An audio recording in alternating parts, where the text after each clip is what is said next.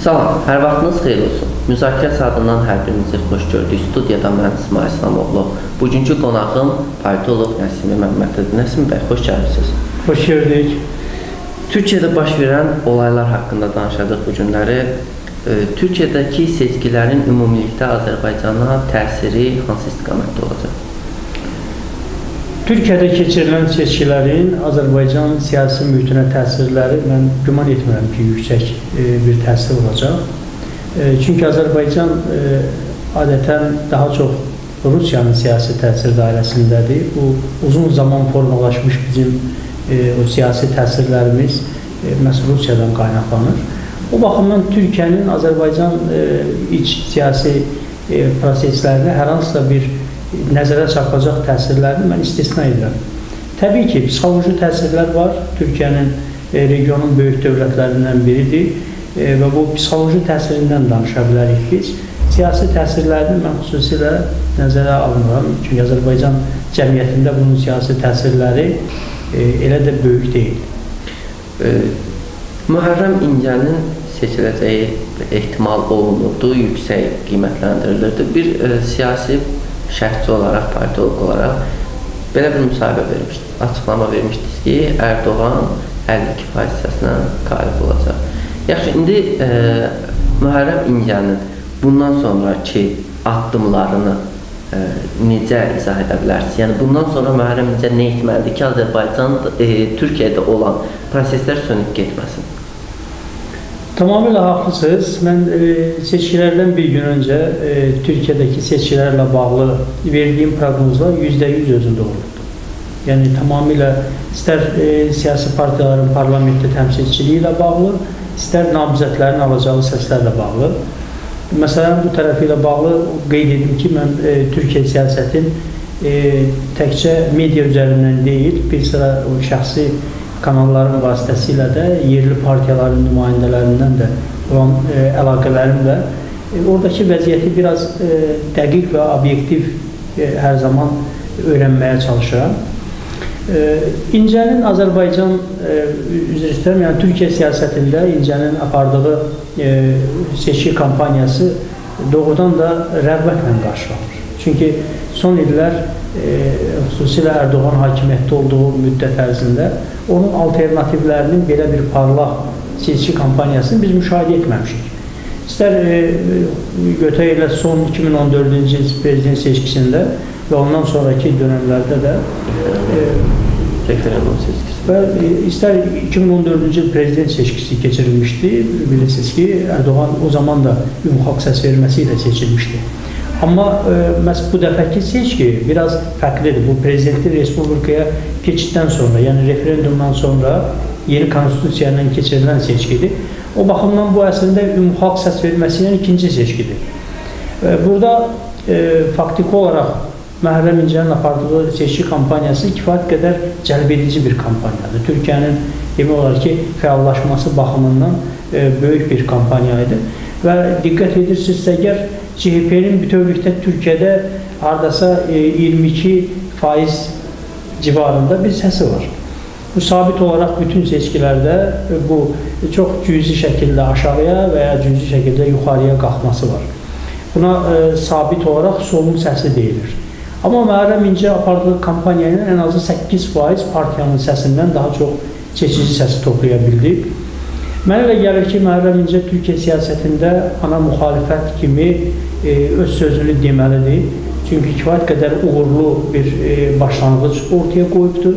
Ola bilsin ki, e, CHP-nin e, çox yaxın zamanlarda başqanı kimi onu biz siyasi arenada görə biləcəyik. Mən bunu istisna etmirəm, çünki artıq o demək olar ki, bunun üçün bir mənəvi psixoloji dəstək alıb xalqdan.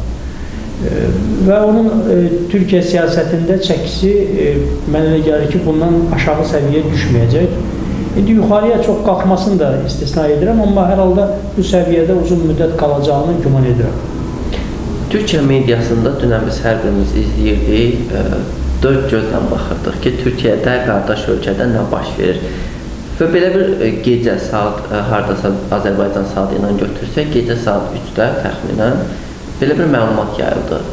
Mühərrəm İncə həyat yoldaşı ilə birlikdə qaçırılıb, və digər siyasi partiyaların bir neçə üzvü yoxa çıxıb. Bununla yanaşı Türkiyədə atışma səsləri var və F-16-lar uçur, artıq uçmağa başlayıb. Digər tərəfdən də azan 1 saat əvvələ salınıb.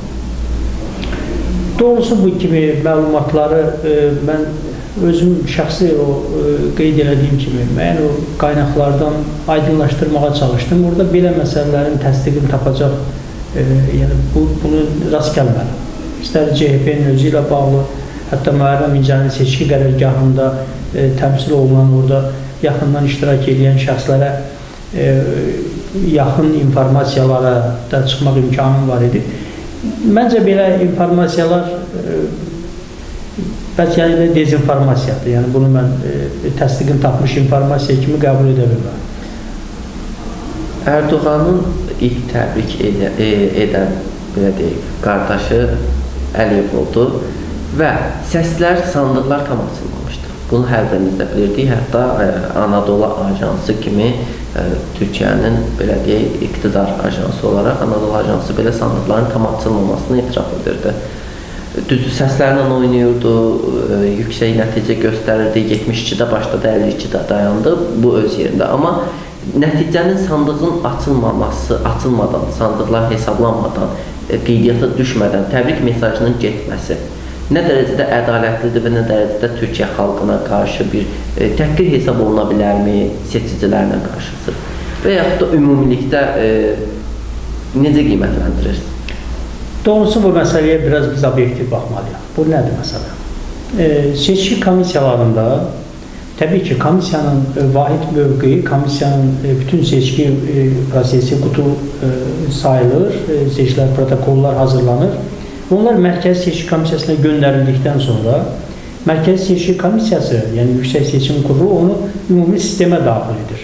Yəni o biraz vaxt aparan məsələdir. Amma faktiki seçki e, bitəndən sonraki qutudakı səslərin sayılması prosesinin mediada izləyir, müşahidəçilər var, hər bir tərəfin özünün orada nümayəndələri əyləşiblər və onlar e, həmin o saylarla özlərinin seçki qərargahlarına və ya hansısa bir e, agentliklərə, müstəqil agentliklərə dərhal anında məlumat ötürür. Bu məlumatların Yüksək Seçim Kurulunun məlumatlarını bir neçə saat önləməsi bu kifayət qədər təbiidir. Çünki qeyd elədiyim kimi, orada biz elə Azərbaycanın özündə də seçki prosesində bu dəfələr olubdur. Məsələn, biz otururuq seçki məntəqəsində, seçki bitir, orada səslərin sayıldığı an bilirik ki, nə qədər, hansı namizəd nə qədər səs alır. Amma o mərkəzi seçki komissiyasına ötürülməsi üçün gedir dairə seçki komissiyasına. Orada protokollaşdırılır, o protokollar göndərilir daha yuxarı. Bu baxımdan mən məsələnin o tərəfinə xüsusi vurğu salmaq istəyirəm ki, məntəqələrdə açılmış səslərin yəni etibarlılıq məsələsinə kölgə salmaq olmaz. O e, nəticələr göstərir ki, mən ən azı son 10 ilin seçki prosesindəki o nəticələri e, üst-üstə qoyub müqayisə etmişəm. E, deməli 0.5, 0.6 faiz fərq var. Bütövlükdə hamısında. Yəni bu e, tamamilə ifadə edə bilir. Doğrudur, seçki e, nəticələrinin tam sayılmamış, bu məsələnin açıqlanması bu biraz e, tələskənlikdir. Mən hesab edirəm ki, e, seçki nəticələri tamamən açılmadan belə bir addımın atılması biraz cəmiyyətə psixoloji e, təsir etmək nöqteyi nəzərindən atılır. E, seçkin nəticələrinin gözlənilməsi daha yaxşı olardı. Amma bu edilməyibsə, mənə elə gəlir ki, burada e, biraz o şəxsi maraqlar öndədir, e, şəxsi siyasi maraqlar öndədir e, ola bilsin ki, biraz e, belə deyək, e, psixoloji bir təsir göstərmə e, niyyəti də var ortada. Amma e, bütövlükdə mən bunu e, Türkiyə seçicisinə, Türkiyə xalqına qarşı hər hansısa bir hörmətsizlik kimi qəbul etmirəm. E, dünənlərdə tweet atmışdı bir e, hörmətli bir şəxslərdən biri də, amma çəkməyəcəm, tweet atmışdı və yazmışdı ki, politologlardan soruşa bilirsinizsə soruşun, indi ağlıma gəldi, onu soruşacağım sizdən. Ərdoğanı ilk təbrik edən ölkələrin dördlüyünə baxın demişdi və dördü də avtoritar rejimdə idarə olunan ölkələrdir və onların başqanlarıdır, rəhbərlərdir idarə edənlər. Ərdoğanın ə, Türkiyədə diktator bir rejimi qurması faktı gerçəkdir. Tamamilə haqlısınız. Yəni burada e, seçkidə təbriklərin mən də baxmışam, həmin o e, ardıcıllığa. Orada daha çox qeyri-azad ölkələrin e, təbrikləri öndə gəlir. E, bunun e, səbəbləri bəllidir. E, daha çox e, özünün fəaliyyəti zamanı demokratik seçkilərdən bir addım geridə olan rejimlər adətən e, özlərinə yaxın hesab etdiyi ölkələrdə hakimiyyət dəyişikliyini arzu etmir. Çünki bunun ən azı psixoloji təsirləri var. Mən e, bir e, bizi dinləyən insanlar üçün qeyd olaraq qeyd edim ki, məsələn, Gürcüstanda Şevardnadze hakimiyyətdən gedən zaman Azərbaycana bunun psixoloji təsirləri oldu. O zaman bəzi e, siyasi analiz e, edən insanlar deyirdilər ki, bu Azərbaycana siyasi təsir göstərəcək. Mən amma o zaman da bu fikirdə olmuşam ki, siyasi təsir yox, psixoloji təsirdən söhbət gedə bilər. Məsələn, Gürcüstanda Şevərnaziyadan sonra e, Saakashvili də hakimiyyətdən getdi. Bunun Azərbaycana siyasi təsirləri olmadı. E, Ermənistanda Levant Petrosyan, ardınca e, Sarkisyan hakimiyyət, Köçəryan, hətta ondan sonra Sarkisyan hakimiyyətləri dəyişdi. Amma Azərbaycana bunun siyasi təsiri oldu mu? Əlbəttə olmadı. Götürək ki, Rusiyada Yeltsin hakimiyyəti, ardınca Medvedev və e, Putin dəyişmələri baş verdi. Burada psixoloji təsirdən söhbət gedə bilər. Məsələn, uzun müddət oturub antidemokratik e, e, idarə etməyə üstünlük verən rejimlər başqa ölkələrdə dəyişiklikləri arzu etmir. O dəyişikliklər istər-istəməz ona bir psixoloji baskı yaradır. Ona görə onlar bundan biraz da sevinirlər ki, dəyişiklik baş vermədi. Hətta demokratik olan seçkiləri belə nümunə gətirirlər. Mən çox zaman görürəm, o antidemokratik rejimlər, məsələn, Helmut Kohlun 16 il hakimiyyətdə qalmasın, e, Churchillin e, 16 il hakimiyyətdə qalmasın və s. Bunları da bir misal olaraq çəkirlər. Misal olaraq gətirirlər ki, yəni belə ənənələr var. Belə.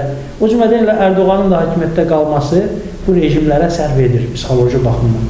Amma qeyd etdiyim kimi bu məsələlər e, Türkiyədə Ərdoğanın diktatura rejimi qurması ilə bağlı argument kimi qəbul edilə bilməz.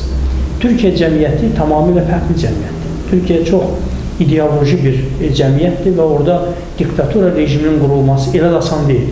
Siz seçki kampaniyasına baxdısa, yəni o fərqlər, o dəngə çox kövrəkdir. Çox kövrək. Belə bir şəraitdə qurmaq mümkün deyil. Əgər olsaydı, məsələn, 70-80 faiz, orada bəli qurmaq olardı. Amma bu şəraitdə, əksinə, bu seçki mənə elə gəlir ki, Türkiyə cəmiyyətinin daha da demokratikləşməsi üçün bir prosesin başlanğıcı olacaq. Konkret bir hə və yaxud da yox xahiş edirəm belə cavab verərsiniz. Seçkilər Türkiyədə saxtalaşdırıldı mı?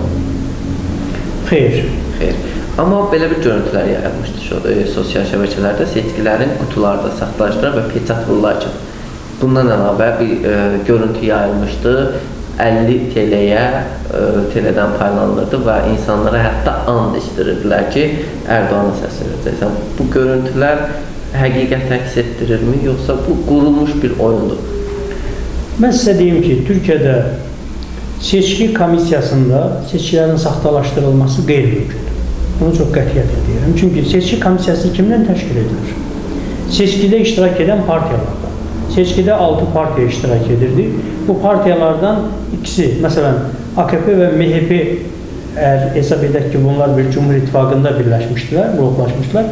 Qalan 4 partiya Ərdoğan siyasətinə qarşı son dərəcə kəskin, radikal, müxalif mövqe sərgiləyir və komissiyada orada nisbət 4-ün 2-yədir. Yəni komissiyanın gedişində heç bir zaman sən orada seçki saxtakarlığı törədə bilməzsən. Protokolların üzərində ora daxil olub səs verən insanlarla bağlı, yəni gəlirlər içəriyə. Orada karusel mümkün deyil. Barmağa vurulan mürəkkəb 3 gün silinib getmir və hər kəs ən uzaq məsafədən belə görə bilir. Bizdə indi o görünməyən mürəkkəbdir, onun üzərində hansısa bir e, çox asanlıqla manipulyasiya etmək mümkündür. Amma orada aydın şəkildə görünür ki, bu insan səs verib ya verməyib. E, demək istədiyim budur ki, seçki komissiyalarında Türkiyədə seçkinin saxtalaşdırılması mümkün deyil. Amma təbii ki, seçki komissiyalarından kənarda e, seçicinin iradəsinə təsir edən müxtəlif variantlar ola bilər. Mən bunu istisna etmirəm. Mən bilmirəm, hansı formadadır, bunu nə dərəcədə e, çəkib ortaya qoya biliblər və bunu seçki komissiyalarına, yuxarı instansiyalara şikayətlərin edilməsi, o cümlədən məhkəmə e, mübahisələndirilməsi, Bunlar olacaqsa, əlbəttə bunlar çox mənfi hallardır və mütləq həmin nəticələr ortadan qalxmalıdır. Yox, əgər bunlar təsdiqini tapmayacaqsa, Türkiyədə məhkəmə qaydasında, e, mənə elə gəlir ki, bu bir problemə çevrilməyəcək. Siz diqqət edirsinizsə, seçki komissiyasında, aşağı komissiyalarda olan insanlar seçkiyə kölgə salmayıblar. Onlar da qəbul edir ki, Erdoğan qalib gəlibdir seçkilərdə. Yəni biz e, ağırlığı onun üzərinə salmalıyıq ki, görünən tərəf bundan ibarətdir ki, Türkiyədə seçkinin demokratik olması ilə bağlı orada alternativlərin özlərinin mövqeyi, yəni bir-iki kiçik istisnalar olmaqla mövqeləri tamamilə e, üst-üstə düşür. Yəni seçkinin demokratikliyinə kölgə salınmır. Tamaşaçılarımız üçün də xüsusi olaraq qeyd edək ki, Türkiyədəki istər məhkəmə sistemi, istər seçki sistemi Azərbaycanla Türkiyə arasında görünən yer qədər fərq var. Yəni bunu etiraf eləmək lazımdır. Nəsim bəy, bir izləyicimiz dünən bilirsiniz biz yazışdıq. Həmin yazışmanın altına dünən bir izləyicimiz yazıb. Sizcə Ərdoğan liderdir? Ərdoğan kifayət qədər bəli, bir e, Türkiyə cəmiyyətində bəlli bir elektoratın lideridir. Yəni biz lider dedikdə bütövlükdə e, bir cəmiyyətin hamısını əhatə edəcək lider anlayışı indi yoxdur. Çağdaş dövrdə hansısa bir ideoloji, hansısa bir e, siyasi platformanın liderindən söhbət gedə bilər və Erdoğan e, belə bir platformanın lideridir. Yer gəlmişkən mən e, sizə deyim ki, Türkiyədə bütövlükdə sağ və sol anlayışı var. Yəni bu o qədər möhkəmlənibdir ki, o qədər e, buna e, Türkiyədə deyirlər kəmiklənib, yəni sümükləşmiş bir, bərkimiş vəziyyətdədir ki, bunu heç bir halda dəyişmək mümkün deyil. Hələ yaxın 20-30 ildə də bunun dəyişilməsi ehtimalı çox aşağıdır. Çünki bilirsiniz, televiziyalar e, yarandığı dönəmdə bu biraz möhkəmlənməyə doğru getdi. İndi sosial şəbəkələrin dönəmində, internet dönəmində bu tamamilə fərqli formada yenidən bir möhkəmlənir, sanki biraz da elə bir cilalanır. Məsələn, e, solların səsi 30% e, civarındadır. Sağların səsi 70% civarındadır. Yəni Türkiyədə e, sağların siyasi mövqeyini ifadə edən şəxslərin liderləşməsi, seçki prosesinin davamlı olaraq udması ehtimalı hər zaman 70-in 30-u olacaq. Yəni bu 50%-dən 50 plus 1 də ola bilər, 70% də ola bilər baxır indi onun cəmiyyətlə işləməsi. Məsələn, Erdoğan mən əminəm ki, əgər e, bir 15 il bundan öncə bu seçkiyə girmiş olsaydı, o 65-70% səs ala bilərdi. Türkiyə cəmiyyətində. E, amma indi apardığı bu e, müddət ərzində təbii ki, o da səslərinin müəyyən qədər azaldıqdır. E, amma ona baxmayaraq yenə də bəlli bir elektoratın lideridir. Əliyevlə Erdoğan münasibətlərindən danışaq. Tanap layihəsi və digər ə, e, gələcəkdə Azərbaycanla Türkiyə arasındakı qarşılıqlı münasibətlərdən danışaq. Azərbaycanı nə gözləyir?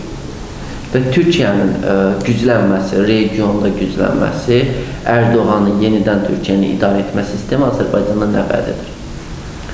Mən sizə deyim ki, Azərbaycanda kimin prezident olması və ya Türkiyədə kimin prezident olması bu iki dövlətin münasibətlərinə e, çox da nəzərə çarpacaq təsir etmir. Çünki bu iki dövlətin təməl siyasətində bir-birinə bağlılıq həddən artıq çoxdur. E, xüsusilə belə götürək, e, onsuz da Türkiyə-Azərbaycan iqtisadi əlaqələrində e, Azərbaycanın çəkisi kifayət qədər e, yüksəkdir. Türkiyəyə biz e, enerji e, satırıq, bununla bağlı e, müxtəlif layihələr var, birgə layihələr var. Bakı-Ceyhan e, xətti əslində elə bizim e, Azərbaycan iqtisadiyyatının şah damarıdır, ora bağlıdır. E, siyasi baxımdan, təhlükəsizlik baxımından da e, Türkiyə-Azərbaycan dövlətlər arası münasibətlər son dərəcə yaxın münasibətlərdir. E, mən belə hesab edirəm ki, Türkiyədə hətta Ərdoğan yox, istənilən bir tərəfin nümayəndəsi prezident olsa, o İlham Əliyev əgər hakimiyyətdədirsə, onunla işləyəcək. Onunla işləmək məcburiyyətindədir. Onunla əməkdaşlıq etmək məcburiyyətindədir. Bunun alternativi yoxdur.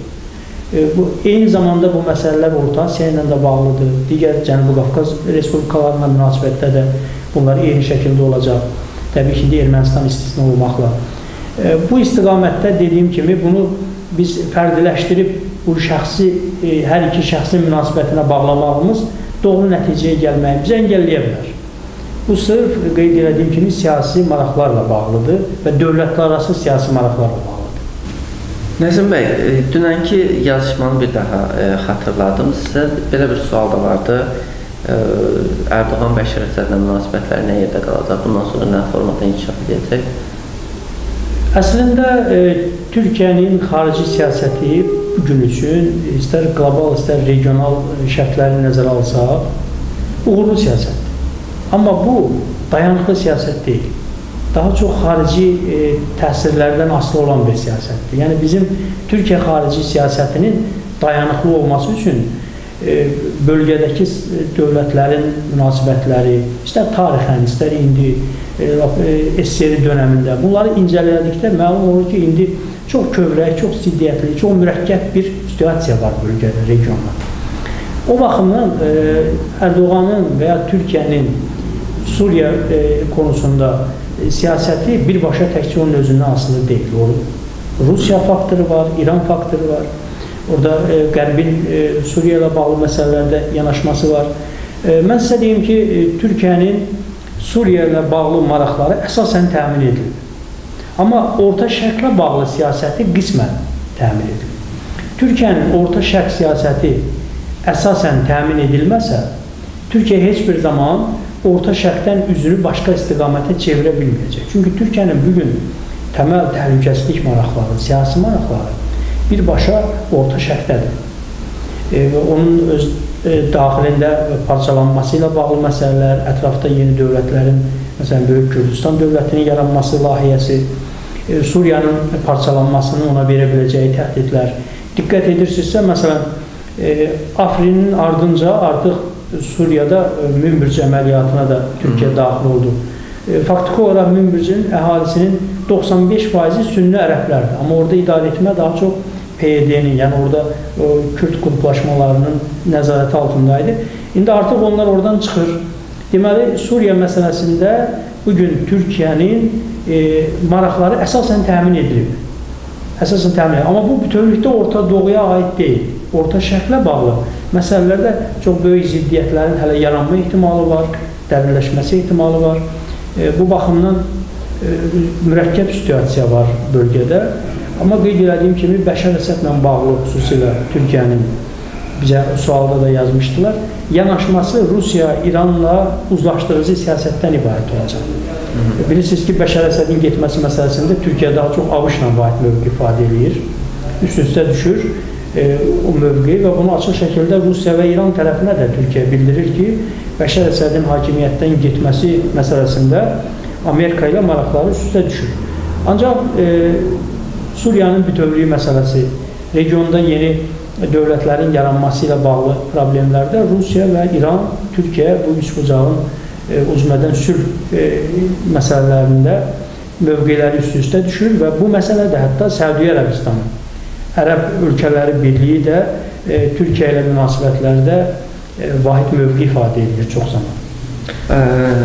Nəsim bəy, deməli Ermənistan məsələsinə bir daha qayıdaq. Ermənistan mövzusunda dayanaq, çünki bizim üçün əsas e, patriot məsələlərdən biri də Ermənistan məsələsidir. Türkiyə Ermənistanla, yəni Ərdoğan Ermənistanla sərhəddə açmaq ehtimalı nə qədər neçə faiz üzərində dayanır? Ermənistan-Türkiyə sərhədlərinin açılması ilə bağlı məsələ bir neçə dəfə gündəmə gətirilibdir və bu məsələdə açığı e, Azərbaycan tərəfinin yanaşması əngəl törədibdir ki, Türkiyəyə sərhədləri açmasın. Yəqin ki, bundan sonra da belə təşəbbüslər olanda Azərbaycanın maraqları Türkiyə tərəfindən nəzərə alınacaq. Amma biz ümumi götürsək, ümumi götürsək, e, Türkiyənin Qafqaza daxil olması üçün, Cənubi Qafqaza daxil olması üçün onun mütləq Ermənistanla münasibətlərinin yaranmasına ehtiyac var. Hətta Dağlıq Qarabağ e, probleminin nizamlanması məsələsində də Türkiyənin regiona girməsi üçün hansısa bir vasitə olmalıdır. Məsələn, Türkiyə kənarda durmaqla Rusiya burada dominantdır. Qərb isə bura e, yalnız adəti Minsk qrup vasitəsilə daxil ola bilir. Xüsusən münaqişə ilə bağlı mən nəzərdə tuturam. E, amma bura yeni oyunçunun daxil olması üçün bilirsiniz ki, müəyyən bir psixoloji zəmin də yaranırdı. İndi e, Ermənistanda hakimiyyət dəyişib, Ermənistanda e, seçki sistemi ilə parlamentar respublika tipinə keçirilib. Ermənistan e, daha çox avrointeqrasiya istiqamətində addımlayır. E, bu imkanlar da getdikcə artmaqdadır. Düzdür, Rusiyanın təsiri orada həll edicidir. Rusiyanın böyük təsirləri var və bu hələ uzun müddət belə davam edəcək. Xüsusən nə qədər ki, hələ Qarabağ e, məsələsi öz həllini tapmayıb. Amma e, Türkiyənin regiona girməsi üçün Ermənistanla yaxınlaşması çox vacib şərtdir. Bu yaxınlaşdığı təqdirdə təhsil imkanları daha çox ola bilər. Amma bir çox ekspertlər hesab edir ki, bu e, Azərbaycanın tətbiq etdiyi siyasətin strategiyası bundan ibarətdir ki, Ermənistanı blokada şəklində sıxır və Ermənistan e, sülhə məcbur olur. Bu 25 illik zaman göstərdi ki, bu heç də özünü doğrultmayıbdır bu argument. Ermənilər əksinə bölgədə kifayət qədər məskunlaşma siyasəti həyata keçirir, e, siyasi üstünlüklər əldə ediblər, hərbi üstünlüyü də siyasi və diplomatik üstünlüklərdən biraz da möhkəmləndirməyə doğru gedir. Ona görə e, bir mənalı demək çətindir, amma bunu e, zamanı əgər e, nəzərə alsaq, mənə elə gəlir ki, bir gün bu müzakirə edilməli mövzu olacaq. Bu, bu mövzuda tweet atmışdım və e, bir e, Türkiyəli dostumuz mənə yazmışdı ki, əgər ə, Türkiyədə Ermənistanla sərhəd açılsa, Ərdoğan ə, elə Ərdoğana cavabı Ərdoğanı seçən xalq verəcək. Sizcə Türkiyədə Ermənistana sərhəd açılsa, xalqın oyanışı baş verə bilərmi? Yəni Ərdoğana etiraz dalğası? Yox, mən onu hesab etmirəm. Çünki e, Türkiyə-Ermənistan münasibətlərini incələsə əgər, Ermənistan çox kiçik bir dövlətdir. Ermənistanın Türkiyənin daxili siyasətinə hansı təsir ola bilər ki? Yəni, e, əgər təkcə məsələn bu seçkidə götürək ki, e, ilk dəfə səs verən seçicilərin sayı 1 milyon 600 min nəfərə çatdı. Ermənistanda seçicilərin sayı heç bir o qədər deyil. Yəni bizim e, bəzən biz elə fikirləşirik ki, bu təsirlər ola bilər. Amma indi 80 milyonluq bir Türkiyənin Ermənistanda e, təhsilləri daha çox ola bilər. Yəni bunun istər-istəməz bura daxil olar, bu bazara. Mən sizə inandırım ki, o sənədlər açılsa, o e, əgər o qadağalar götürülsə, Ermənistan dövlətini elə türk iş adamları gedib oranı tamamən nəzarətə götürəcəklər. E, amma biz sadəlöv də baxmalı deyilik. Türkiyədən, e, xüsusən Ermənistanın bir ideoloji e, çox güclü dayaqları var. Çox böyük bir ideologiyası var. Bu e, ona görə biraz çətin məsələdir. Erməni diasporası da var, erməni kilsəsinin də yanaşması var. Və bunlar türk millətinə düşmən kimi baxaraq insanları bu şəkildə formalaşdırırlar və bu özlərini qoruma instinktləri var. Ona görə bu biraz real görünmür mənə. Nəzəri baxımından var, amma praktik baxımdan e, bu münasibətlərin yaxınlaşması çox da real deyil. Ərdoğanın ə, belə deyim, Məhərrəm İncəni kürdlərə daha çox yaxın olmaqda belə deyək, suçluyurdu, iddia edirdi, amma belə bir hal yaşanıb dünən. Kürdlərin Türkiyədə ən çox yaşadığı ərazidən Məhərrəm İnci yox, Ərdoğan daha çox oy toplayıb, səs toplayıb. Nə ilə əlaqədar? Mən e, sizə deyim, e, Türkiyənin e, xüsusilə e, demək cənub şərqində Kürdlərin daha çox kompakt yaşadığı ərazilərdə e, istisnasız olaraq HDP seçkiləri udub. Çox yüksək faizlə. E, ikinci yerdə Hakimiyyət Partiyası kimi Ərdoğanın partiyasının gəlməsi bu normaldır. Yəni, məncə burada bir qeyri-adi bir şey yoxdur. Və üçüncü yerdə gəlir CHP. Siz əgər diqqət edirsinizsə, Türkiyənin bütövlükdə 81 81 e, regionunda, e, rayonunda belə götürək, e, seçkilərdə həmin o rayonların 63-ündə AK Partiya birinci yerə çıxıb. Ərdoğan bu seçkilərin nəticələrini udubdu. Seçkilərin 10-unda HDP udubdu Dəmirtaş. Yalnız 8-də e, Məhərrəm İncə qalib gələ bilibdi. Türkiyə genelində, məsələn, 81 regionun, 81 rayonun yalnız 8-də qalib gələ bilib. Hətta, məsələn, HDP 10-unda qalib gələ bilib həmin yerlərdə mütləq səsləri götürür. Bu nöqteyi nəzərdən biraz biz e, Türkiyədəki real vəziyyəti düzgün analiz etməliyik. Türkiyədə e, CHP-nin ayrı-ayrı ilçələr üzrə liderliyi çox aşağı səviyyədədir. Amma Ərdoğanda bu 63%-ə qədər, e, 63 regiona əhatə edir, kifayət qədər böyük rəqəmdir. E, siz diqqət edirsinizsə, HDP faktiki olaraq millət vəkili çıxarılması baxımı ilə Kürdlərin kompakt yaşadığı yerdə heç kəsə imkan verməyib. Əsas özü çıxarır. Yəni 11% səsi o alıb, 11% MHP alıb, amma millət vəkili sayı ilə 67 millət vəkili HDP çıxardır. Məsələn 47, 48 millət vəkili MHP çıxarda bilir. Çünki bütövlükdə həmin regionda olan millət vəkili yerlərinin hamısını götürübdür HDP. Millət vəkilliyindən söhbət düşdü. E, millət vəkilliyində e, e, seçkilər hal-hazırda gedir. Səhvlənmirəmsə, ya bitdi? Bitdi bu da bitdi. E, onda AK Parti deyəsən deputat seçkiləri, ümumiyyətlə millət vəkili seçkilərində aşağı nəticə göstərdi. Demək belədir. AK Partiyanın səsi 42% səs qazandı. Amma prezident seçkisində 52% səs qazandı. Çünki 10%də təxminən bu MHP ilə olan əməkdaşlıqdır. MHP-nin səsi də onun üstünə gəlib. Bu özünü göstərdi. Çünki MHP-nin də elə bir 11% səsi var parlamentdə. AK Partiyanın səslərinin itirilməsindən söhbət gedə bilməz. AK Partiya səslərini çox da azaltmayıbdır. Xüsusilə bir şeyi biz diqqət etməliyik.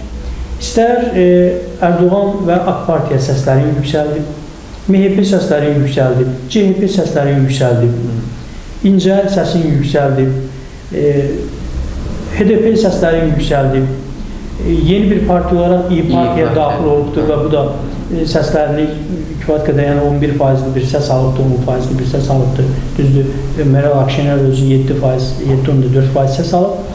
Yəni bu nəyi göstərir? Bu onu göstərir ki, Türkiyədə heç kəs uduzmuyor.